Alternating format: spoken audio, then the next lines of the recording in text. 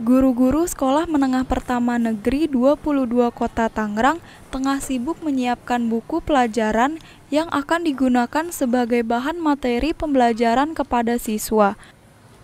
Namun, kegiatan belajar mengajar tidak dilakukan di dalam kelas, melainkan dengan mendatangi langsung ke setiap rumah siswa yang tidak mampu, yang terkendala gawai karena sistem pembelajaran dilakukan secara jarak jauh atau daring. Salah seorang siswa tidak mampu, Nurisma mengaku sempat kesulitan mendapat materi pembelajaran karena tidak punya smartphone, sehingga harus meminjam tetangga untuk belajar.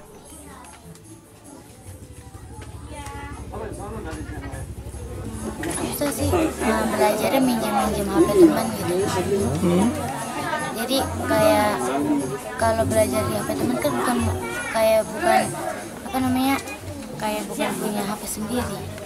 Hmm. jadi enakan lebih enakan punya HP sendiri daripada minjem ke teman ini dibeliin sama Lurah hmm.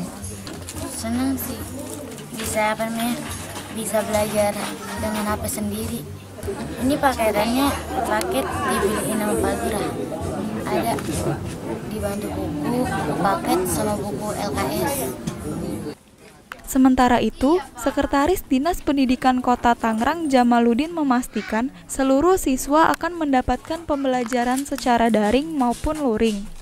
Selain itu, setiap siswa mendapatkan buku paket pelajaran dan buku LKS secara gratis.